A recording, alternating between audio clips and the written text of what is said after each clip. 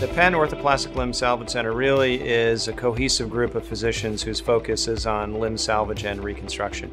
And for functional reconstruction, we really look at the patient as a whole because each patient that we see is going to have different needs. Some may want to go back and be a high performance athlete, some may just want to go back and run around with their family. So I think we really take into account what the patient's functional needs are and what their social needs are one of the biggest leaps was really our ability to do microsurgery. So our ability to move vascularized tissue from one place to another to aid in limb salvage and reconstruction. We're not just moving it to cover it or replace bone, we're really moving tissue to regain function. There's a lot of very subtle nuances that allow us to move tissue to a much finer degree we're able to put together blood vessels that are that much smaller. We have the ability to move functional bits of muscle, hook up the nerve that innervates it and allows voluntary control of that muscle.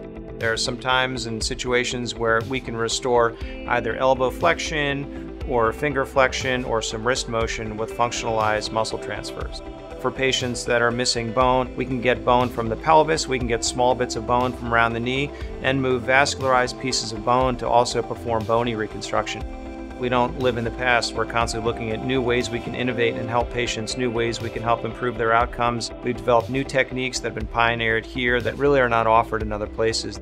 Our goal really is maximal function, returning patients to the life that they want to live in the most pain free, functional manner we can possibly deliver to them.